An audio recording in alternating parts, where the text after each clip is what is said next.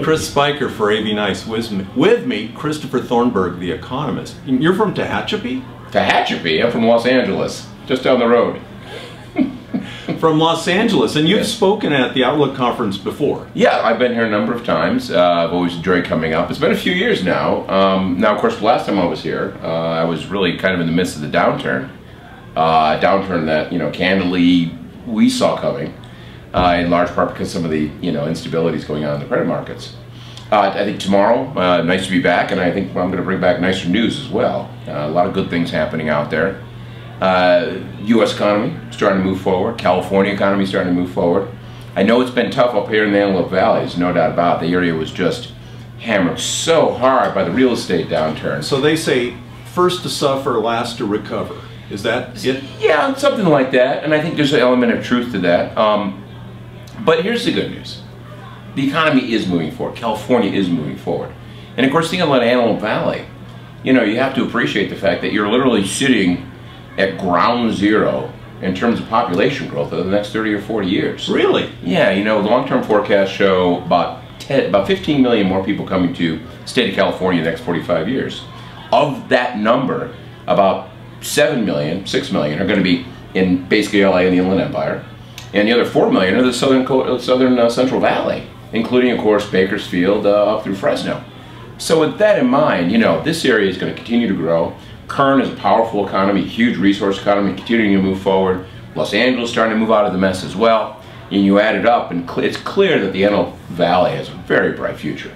Um, you know, wow. yeah, I know. I about that yeah, for that's a great, uh, great uh, yeah. program, a great message. Yeah. So, so well, you're getting there. You know, that's the key points. All the data show things moving in the right direction. Sure, it's a slow start, but in a couple of years, this stuff's going to start fading into memory, and ultimately, again, the future's bright.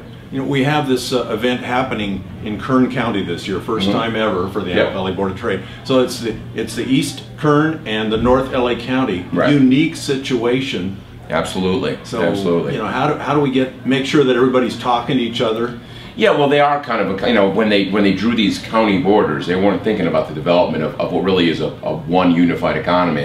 Palmdale, Lancaster, not nearly really part of LA. The rest is sort of below the mountains are And at the same time, Southern Kern County, again, not part of that resource economy sort of thing. Um, but again, you think about the long-term growth and you realize LA is going to continue to grow north. You think about, you know, Kern and Bakersfield continuing to grow south, and you're going to be in this powerful nexus, this, this position of, of trade between these two areas, and of course the center of housing for both, and that's going to really make the area flower. And you know, one of the things to keep in mind, I mean, people are moving here because, candidly, it's a beautiful place. You know, I was driving wow. down. The, I, I know. I drove. Really? I was coming down the 138 tonight. Yeah. You know, I was coming over from from um, Palm Springs. Yeah.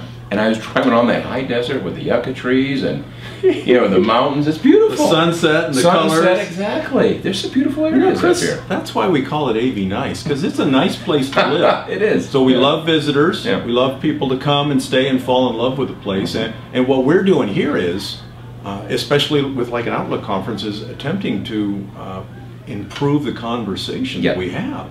Because there's a lot of challenges.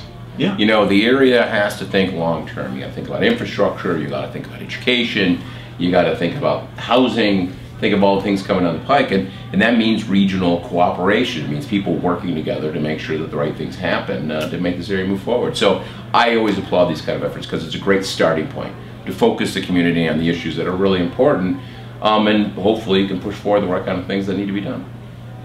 Hey, you heard it from Chris Thornberg, economist, and he's speaking tomorrow at the Antelope Valley Board of Trade Outlook Conference. Welcome back.